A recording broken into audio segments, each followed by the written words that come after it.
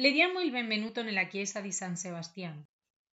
L'epoca della sua costruzione non è nota, anche se ci sono prove della sua assistenza dalla fine del XVII secolo, essendo una delle più antiche della città. Fu la parrocchia di Almaden, inizialmente sotto l'invocazione di Nostra Signora della Estrella, patrona e protettrice della città, fino a quando fu distrutta durante la guerra di indipendenza spagnola dalle truppe francesi, essendo la funzione trasferita all'eremo di Gesù Nazareno.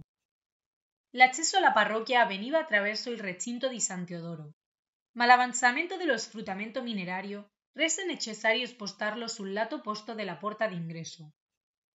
La chiesa ha subito diverse ristrutturazioni, l'ultima intorno al 1970, quando le fu nuovamente concesso il rango di parrocchia sotto l'invocazione di San Sebastiano. Le somiglianze della chiesa primitiva con ciò che vediamo oggi sono poche. Il suo portale, esposto a sud, era triangolare senza campanile a vela, e sul lato opposto c'era la torre campanaria e forse l'altare. Oggigiorno vediamo, dal parco minerario, una maggiore abbondanza di mattoni e meno muratura in questa facciata.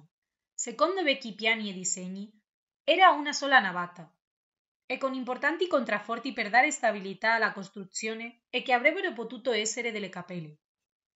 Nella sua ricostruzione nel XIX secolo fu aggiunta la cella campanaria in mattoni per un corpo di quattro campane, che possiamo vedere oggi, e l'accesso al tempio fu modificato dal lato ovest a quello est. Durante il XX secolo furono fatte altre modifiche nella chiesa, dividendola in due altezze. Quella inferiore serve attualmente a conservare le macchine votive a spalla, mentre la parte superiore, che serviva come sala da pranzo economica anche come silo per il grano, è il luogo in cui si apprezza maggiormente la pianta a croce latina. Ha una pianta rettangolare con un abside circolare, costruita in muratura con filari di mattoni e conci agli angoli.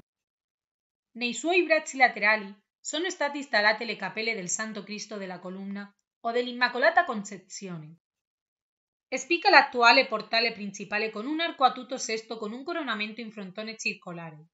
All'interno troviamo una curiosa scala a chiocciola realizzata con pezzi di legno di quercia. Attualmente è chiusa al culto.